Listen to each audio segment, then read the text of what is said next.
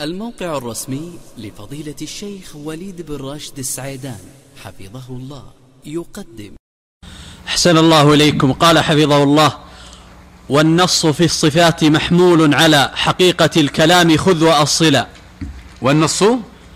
والنص في الصفات محمول على حقيقة الكلام خذ وأصلا. يعني كل نصوص الصفات يجب حملها على حقيقتها اللائقة بالله عز وجل. الأصل في الكلام الحقيقة. الأصل في نصوص الصفات الحقيقة هذه القاعدة. الأصل في نصوص الصفات الحقيقة. فلا يجوز أن ننتقل من حقيقة الكلام إلى مجازه إلا بقرينة صارفة. ويبقى وجه ربك المراد حقيقة وجه الله على ما يليق به. ولا حق لك أن تنتقل من حقيقة الكلام إلى المجاز فتقول المراد ليس وجه الله وإنما المراد به الذات. لأنك الآن انتقلت من الحقيقة إلى المجاز ولا يجوز الانتقال من الحقيقة إلى المجاز إلا, بدل إلا بقرينة ولا قرينة هنا فالأصل هو البقاء على الحقيقة.